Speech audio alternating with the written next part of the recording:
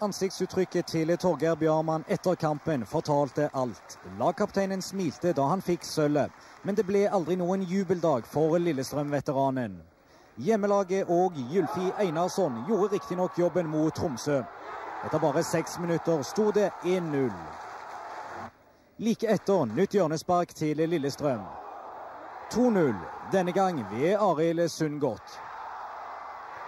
Så forsvant storspillet da meldingene om Rosenborgs storseier tikket inn på Åråsen. I andre omgang reduserte Tromsø til 2-1 ved Kari Mesediri.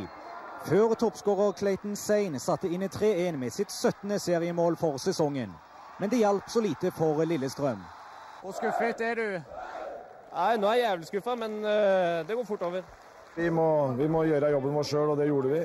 Og eh, Sånn er det. at Det er det laget som vinner serien som har vært det beste laget. og Når Rosenborg vinner 6-2 i Bergen, så får vi bare gratulere Rosenborg med seriegullet. Det er, noe, det er litt surt. Vi var nærme, men ikke nærme nok.